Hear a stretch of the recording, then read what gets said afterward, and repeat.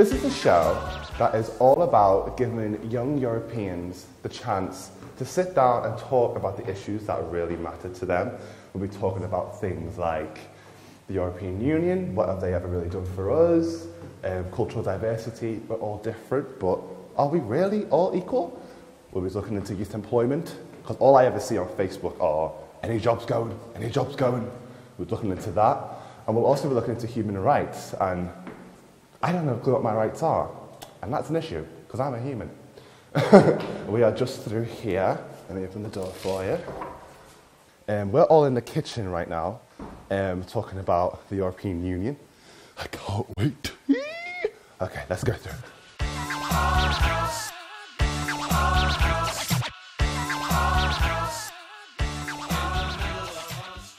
The European Union is a mega mashup of 28 glorious nations, but are they really delivering? Let's chat, but I want to say hi to the crew first. I want to talk to you first. What's your name? My name is Francesco. And where are you from? I am from Italy. Okay, this is the rest of the crew. Say hi, crew. Waving to all the lovely people. Okay, let's go meet our panel. Um, try not to break the lights. Can you tell me your name and what you do, please? I'm Anita, Anita Welsh, um, and I work within the arts. I work with a theatre company. I am Daniel, I'm Daniel Sabiange, and I am doing product design engineering. I'm Doris and I'm studying musical theatre. I'm Vanessa. And what do you do? I'm kind of currently unemployed. That's perfection, so am I. It's fine. My name's Ian Francis. I'm a Liverpool City Councillor and I represent Anfield Ward and the party represents is Labour. My name's Colbia and I'm a student. My name's Maya and I'm a student as well. My name's Candy, I'm also a student. Three students and Ryan, former student, um, young director, uh, father with Vanessa over there. Okay, um, so I'm just going to kick this off with the title of the show, which is What Has Europe Ever Done for Us? And I want to direct it to you first. What do you think Europe has done for us? Um, well, I think it offers a lot of business to the UK, and like it's got lots of exports and imports, and it's like a good economic like sustainability for the UK, and we can rely on it when you know we're in trouble, and I think just it's just good for us. Mm. Raise your hand if you think we should stay in the EU. And raise your hand if you think we should leave. I'm Not sure. Anita, can I ask you a question? Do you think, do you identify as European? I identify myself as a human. I'm be- going to be very weird and very like I don't okay. like to conform to any categories or boxes or whatever. Yeah, I the country I live in is part of the European Union, but that doesn't necessarily I am part of the European Union. I just happen to be in a country that is part of it. I don't support a lot of what they do, but again, I'm not against a lot of what they do. So that's why when you asked, put your hand up, are you for or against being in it? I never put my hand up for either because there are pros and cons for both being part and not being part of it. Ryan, what about you? Do you identify as European? I identify as British. British. But the thing is about it all is Britain and the UK is kind of like the nerdy kid at school who wants to be part of the cool group. Everywhere else in Europe is using the euro, it's all in one massive landlocked kind of state, and we're kind of on the outside. Mm. So, in one sense, we want to be part of the European Union because we want to have all the equal rights and we want to do all that kind of stuff. We're going, no, no, no, no, we won't have your currency. We want the pound. Mm. No, no, no, we won't do that. We want this. We want more power. We're a tiny little island mm. in the grand scope of things. As far as the travel, free travel, before there was tolls and that kind of stuff, people did that anyway. People went all over the world to learn and get different cultures. Just because you're part of the EU doesn't necessarily mean that you have this great privilege that you didn't have otherwise. When it comes down to whether I identify as European, there's how many bloody people in Europe? Do you know what I mean? We're not Europeans, we're humans. It's where we're from. I've got another question. Um, who here knows who their Euro MP is? I don't have a clue who mine is. No. I don't have a clue. So why do you think that is then? Do you think it's us not pursuing them and trying to find them, or do you think it's them not trying to engage us? And It's a bit of both, isn't it? I think it, so, go- go- you can So I, I think it's a bit of both. It's a case of we're concerned with our own issues and in our own local communities and our own country. That we're like, well, that's Europe, that's over there. It doesn't matter over there. And then it's a case of the politicians and the people in the EU can go, no, no, no, don't get them involved. If they get involved, they're going to have too much power, they're going to have too much say, and it's just going to make our lives and our work harder. because we kind of we, concentrate we kind of concentrate on the problems that are going on like right now in our country and we kind of we're kind of secluded we can't we're not we don't really see each- each other as properly connected and interlocked um that's probably why the, we don't really know that much about the European a lot of young people don't know about Europe and, and politics in particular it's because it's not taught in schools. You know, political education was taken out, and you know it should be brought back. Do you guys, girls agree? Yeah. Because you guys are in school now, so. Yeah, definitely. Because like, um, I want to take it for A level, but they don't do that in my school. They don't do like politics as an option, mm. and I think they should because it is an, actually a really important topic. We're not like taught about it, and we don't, you know. It's not on social media sites. Yeah, you can mm. follow your local MP or you can follow David mm. Cameron or Ed Miliband, but you know it's not really brought to our attention as much as we would like it to be. Can I So, come on. Kind of go against what you said in terms of getting you getting the message and the what's going on in terms of politics across through media. I think people need to stop going on and thinking that young people just want media. We want conversations. We are growing adults in the real world and we can have a adult conversation about stuff that are affecting our lives. So I think this right now is great. We're here, we're actually having a conversation human to human, um, expressing ideas and thoughts and feelings about what's going on in our lives. I'm not going to s- say what I want to say in 140 characters on Twitter to people who aren't going to respond to me. So I'd rather have the opportunity to speak to the people, see the people, gauge their reaction, and give my input and see the impact that it has instantly, not on no media site. Dorcas, do you agree with what, what Anita just said? Yeah, I, I do actually because I was um I was sitting here when that point was made thinking I thought I was a, being a strange teenager thinking I don't really go on media.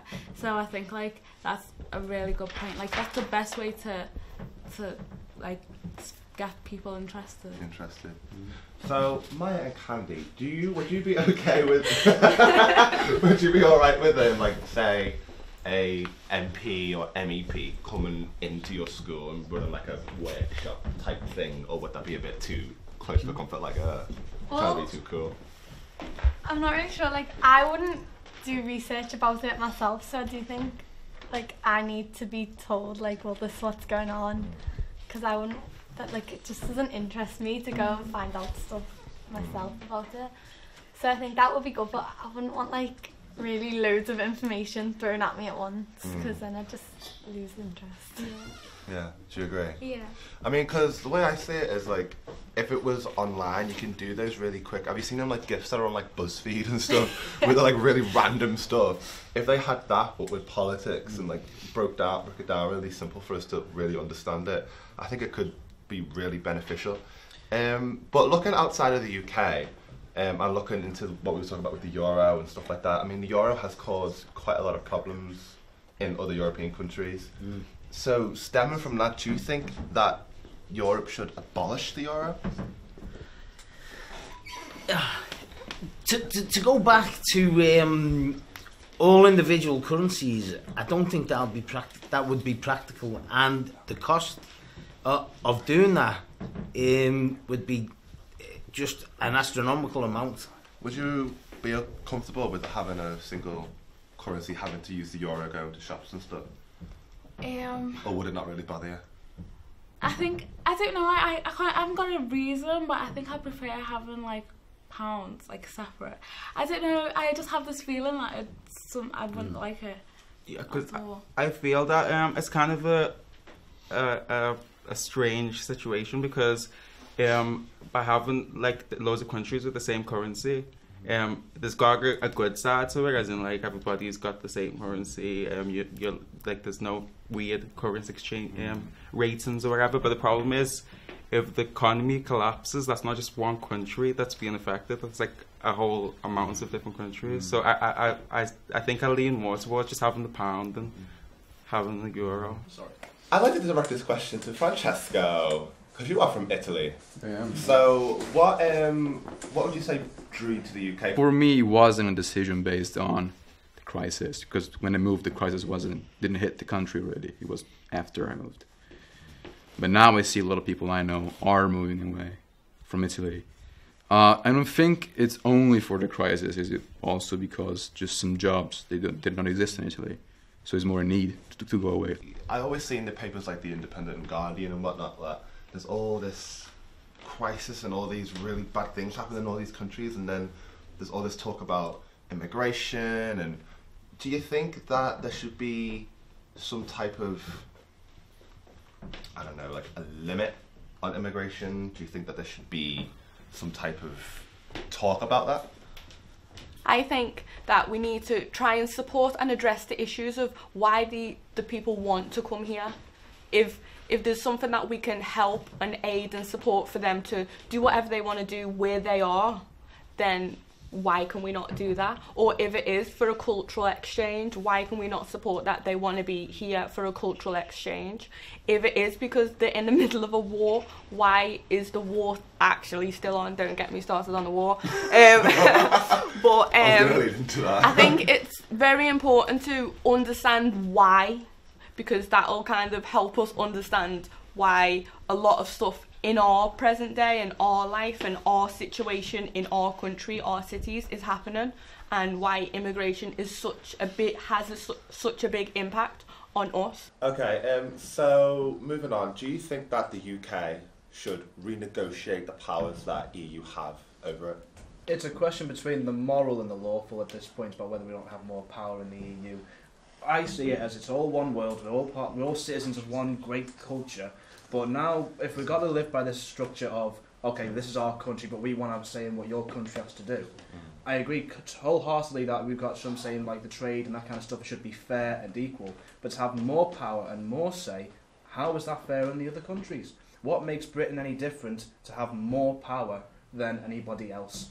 Whether a country has more or less power than anybody else doesn't matter. It should be equal power. If Britain starts like like negotiating and requesting things, then like France should be able to then negotiate and request things. Like you can't make it like unique to your country because then like all other countries are gonna want extras. Mm. I just want to keep going at it. Yeah. It'll never start. so you don't think we should renegotiate? We should just leave it as it is Yeah. and just. But then we'll be like, oh, but you never jumped in on that. Why do you want to jump in on something else? So, by show of hands, who here has used or has not used their right to vote? Who's who's who's voted? Anyone voted? Not old enough Not to vote yet. Not old enough to Yeah. vote yet. But you plan on voting, don't you? Yeah. okay. And who hasn't voted? Okay. Oh, what? Why? I can't. You can't vote yet. Yeah. So why haven't you voted then? Why I haven't you? haven't um, voted yet because uh, I've only just like turned the age to vote, Right. so I'm just waiting to vote. So what about you, Anita? Then?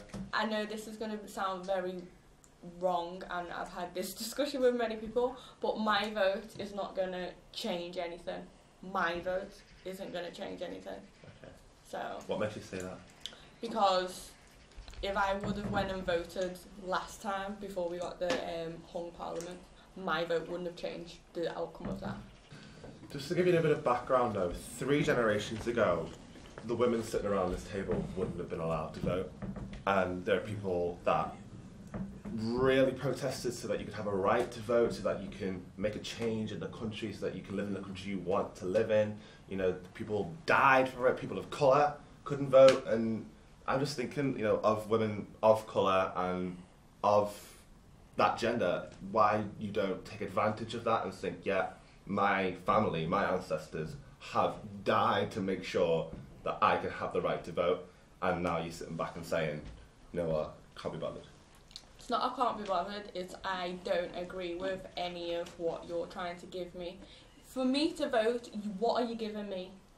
I'm giving you power, what are you giving me? What are you helping me do as a woman? What are you helping me doing as a black woman? How are you supporting me as an individual? How are you supporting my career? How are you supporting my education? How are you su- supporting my future? How are you supporting my children's future? What are you doing for me to vote for you and give you the power and say over my life?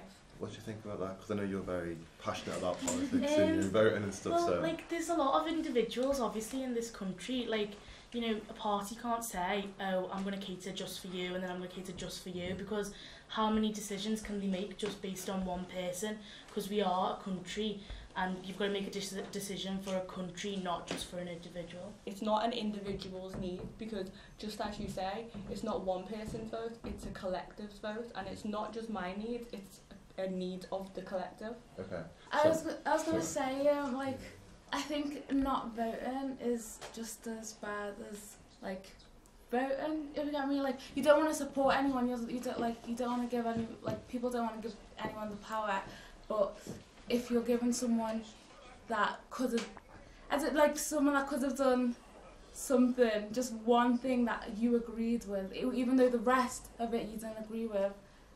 I don't know where to explain it ever. Do you know what I'm saying? like, even if you voted for one, like the person that sort of ticks the most boxes, do you think that maybe you, there's room to negotiate, maybe changes some of their other policies? Yeah, like rather than fit letting you and the collective more. Yeah, Yeah. yeah, because if you if you didn't do that, then you'd let someone who is Come totally against against everything, Everything that that you you wanted to get the power. Yeah, so. Yeah, I, I do agree with it. I just don't want. I believe in a world where everybody is equal, so everyone has a shared power. So why am I giving someone the governance over me? It's an individual thing, and I'd never tell no one not to vote or to to vote. Like this is just me. Like I don't believe in. So the people young, too young to vote haven't heard like both sides of the story. Yeah. What are you thinking? I didn't have to vote for like a mainstream party like Labour or Conservative. I could vote for like Green Party that maybe they won't be in power, but I've still used my vote. Right. What about you, Maya? Um, I don't know, but like if I didn't vote, I think I'd feel like I'm playing it safe, and like if what I vote for then turns out not to be the best thing, I think I wouldn't want to vote again because I think it was my vote that made them. I don't know. I just feel like I don't want to be put in charge of what happens, but like I'd want to use my vote, but I'd have to like have a conversation like this so I can understand it a lot more. Can Can I just say, like, I don't understand why um, sixteen-year-olds aren't able to vote. Like, we are, we have to pay an adult price for the bus. We are able to live by ourselves. We are able to Get have a job. Yeah. Why are we then not allowed to do, ha- make that? I think I think it also goes back to the um to the thing where you said that not that many people know that much about politics, and I def- definitely think that we need to learn that from a very young age because I it took me ages to find out the difference between Lib Dem, Labour, and Conservative. so like I think like loads like you, you we need to be brought up first, like properly understanding what politics is, so we make the right decisions. Right. Yeah, I Um, where. I, I just wanted to ask a little question, like, what would be, what would life be like without politics? What do you think, Just a guys? thought. What would life be like without politics, without any party in power, without anything? There's no like law then or any. Be a mess. Have you ever watched Yeah. that film, The Purge? Like, it's this one that would like that every day. Yeah, it would, yeah, yeah. Because you need to have like a set ground, don't you? Thank you all for watching. Now we have a very special treat for you all. A Liverpool spoken word artist that goes by the name of Blue Saint. Round of applause for Blue Saint! Catch 22 is found in the integral and set areas of our Constitution.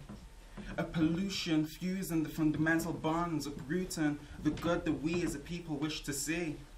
And in these diseased seas and shores of life that we breathe, we seem to see a new breed of oozing grief. Our human need is to view and speak about what we do and seek. So humour me for a minute as I peruse and look through the catch 22s found in the integral and set areas of our constitution. Just look at Kenya's institution, instituted in its grooves with a law that prevents uh, scores of asylum seekers, Somalians, from actually seeking asylum. Another catch 22 only 18% of women work in Saudi Arabia. I was astonished at how anomic and quite ironic it was that 70% of people in their schools and universities were females. What a catch 22. Thank you.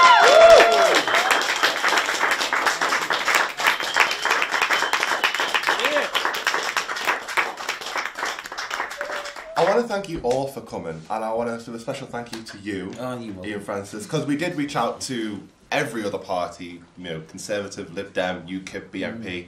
and you are the only one to respond and to come down here and meet all the young people and discuss. So I want to thank you so Oh, you're welcome. much. Come on, round of applause.